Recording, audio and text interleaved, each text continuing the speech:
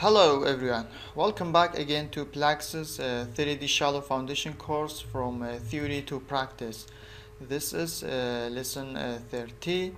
In this lesson we are going to investigate the behavior of strip footing under vertical load using Plaxis 3D. Uh, the soil model and the footing uh, dimensions are uh, shown in this two figures the footing dimension is uh, 2 meter uh, wide and 8 meter uh, long.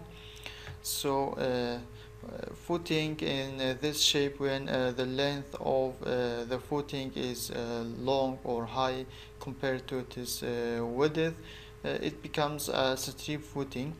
And the soil contours and the borehole height also uh, is shown in here. The soil geometry or the soil contour is uh, 20 meters by 20 meters and the soil uh, layer height is uh, 10 meter. Everything is uh, ready now and we can start the calculation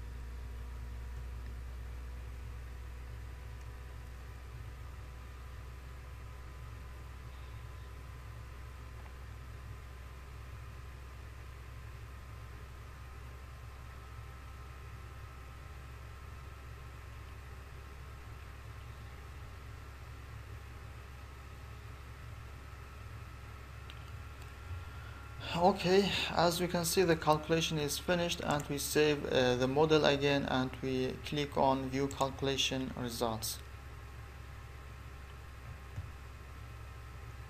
So this is a deformed shape of the problem and uh, the maximum uh, displacement is about uh, 2.2 centimeters.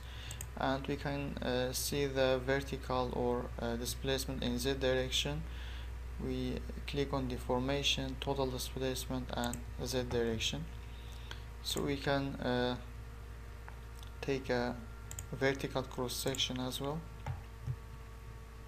As we can see this is a vertical displacement of the strip uh, foundation. Maybe we can deactivate this one.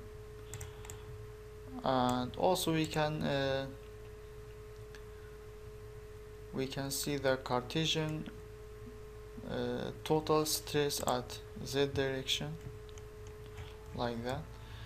And uh, also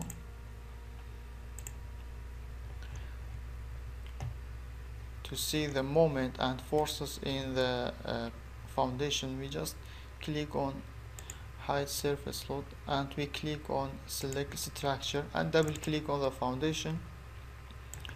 So in here uh, the new menu appears which is force and we can uh, also uh, see the moment in uh, one one direction and the moment in the two two direction. And also we can uh, check the shear force as well. The next step we will uh, investigate the load displacement curve for three different points which we selected before the calculation. So we click on curve manager and click on new. So uh, in the x direction we will have the load. So we will choose a projected and multiplier and the sigma m stage. And in the y direction uh, first of all we will choose uh, the point at the center of the strip footing uh, which is this point. And we will uh, select displacement at z direction. Okay and we will uh, deactivate the data from uh, first and second uh, construction phase. So we can see that the maximum displacement is about 0.022 meters which is about 2.2 uh, centimeter at the center of the strip uh, footing. Now we will uh, also import the load displacement curve for this point which is the right corner of the strip uh, foundation. So we will just uh, right click on this figure and uh, add curve from current project. So uh, this one is the right corner of the foundation. Uh, the coordinate is 1 to minus 4 and 10 and okay. Again we also we can uh, rename each uh, figure. The first one was center of the foundation and the second one was right corner. And also we deactivate the data from initial and strip foundation phase. We can see that the displacement at uh, the corner edge or right corner edge is uh, lower than the displacement at the center of the foundation. Also we can import uh, the load displacement curve uh, for uh, this point also. Again we right click on the foundation and add curve from current project and uh, this time we will choose this point. Okay. And again right click also we can rename which is left corner of the foundation.